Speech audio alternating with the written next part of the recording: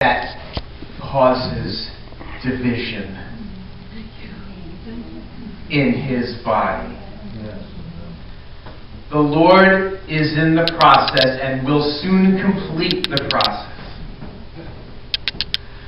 of burning with fire off everything, everything that causes division in his body.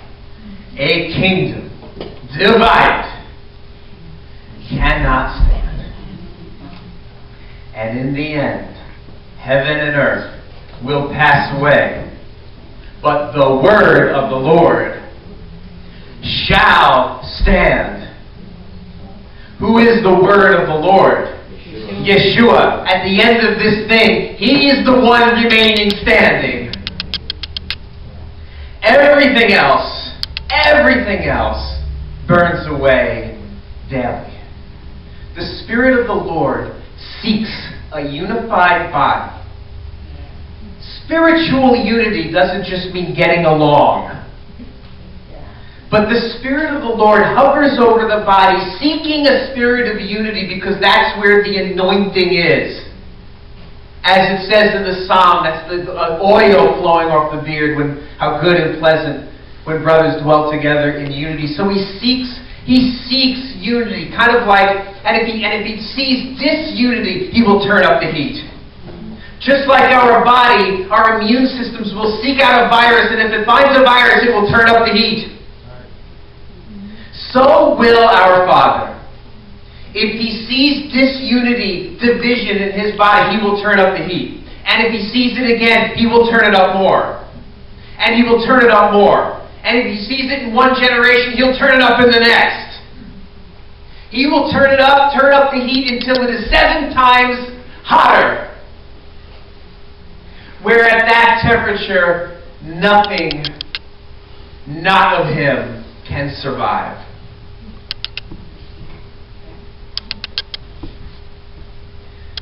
When Shadrach, Meshach, and Abednego were thrown into the fire, seven times hotter, than Nebuchadnezzar turned it. I don't know how well they got along before that moment. I don't know if they were friends. I mean, if they're righteous Jews, they probably argued a lot. I don't know if they really liked each other. They were in Babylon. They had to serve the king. It probably wasn't a really good situation. When the fire was turned seven times hotter, anything that may have caused disunity between these three did not matter anymore. So that's what Adonai will do. He will turn up the heat so much so that the guards, the officers in Babylon who threw them into the fire, died doing so because nothing about an eye, nothing not about an eye can survive at that temperature. Do you understand that? He turned it up so hot that even the Babylonian pagan guards died throwing them into it. And at that temperature, looking into the fire, who do we see? We see one as the Son of God. Because at that temperature, in fact, I believe in the, in the books of the prophets that is the only time that incarnate Yeshua shows up in Babylon, in the diaspora. But it took him turning up the temperature to really hot, seven times hotter, for Yeshua to show up in the fire. Anything that causes division in his body will burn off because Yeshua will not give his glory to another. He will not give his glory to another. He is a jealous God. Hallelujah! That rises up to take the glory from the one who deserves to be on the throne. He will turn up the temperature again and again and again. We talk about tribulation that is coming. Paul uh, shared with me something from Corrie ten Boom, and it spoke about how tribulation comes to the unrighteous, but persecution comes to the righteous. Nice. So none of us are exempt from this thing. So what is the what is the process? What is the purpose of bringing tribulation in the end and turning up the heat? And what is the what is the purpose of bringing bringing persecution to his body? It's all the same purpose at the end of the day to burn off what's not of him. That's the purpose for the unrighteous and the righteous.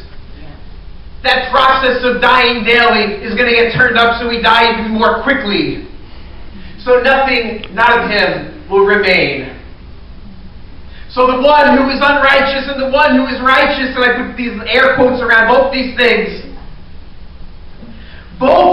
and all that's left is the one who will stand at the end. The Word of God, the living Word of God. Mountains will fall. Hills will be removed. But he will not be shaken. Everything that causes division, he will seek and he will burn off. And he is in the process of doing that.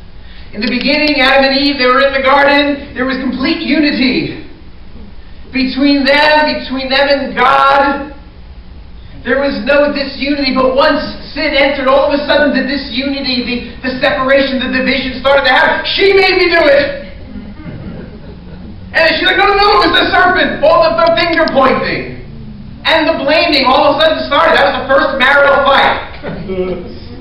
After they left the garden, she probably went, I can't believe you blamed me for that. Somebody was sleeping on the couch that night.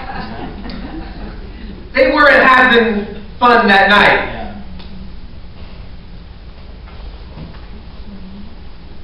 So the sin comes in, and all of a sudden we start to see this disunity, and it even goes to their children with Cain and Abel, where Cain is jealous of Abel and the offerings, and all of a sudden you start to see this thing, this this this this separation, this spirit, this evil spirit that seeks to separate. Jealousy is being burnt off.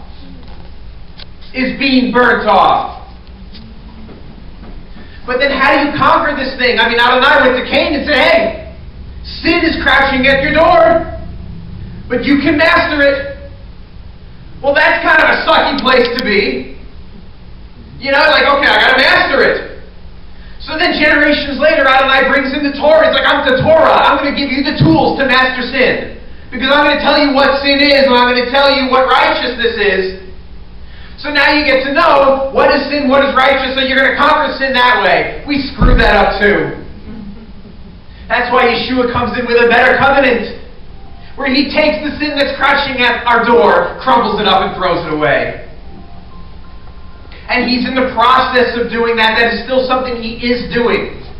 It is not fully complete. It will be complete in the time at the end when he comes. But he is in the process of taking everything that separates us, the sins that crouch at our door that we cannot master, and throwing it into the lake of fire once and for all.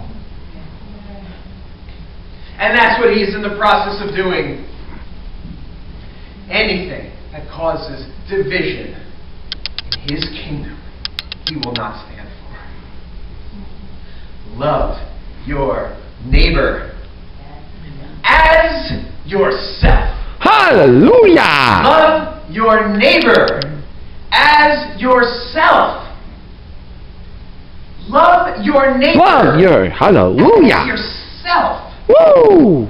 Yeshua said that is the commandment that's like the first, which is to love God with all your heart, soul, and strength. And he didn't just say love your neighbor, he said love your neighbor as if they are you. Love your neighbor as if they are you. Yeshua, when he gave the golden rule and said, Do unto others as you had them do to you, he was alluding to that commandment as well. Your neighbor is you.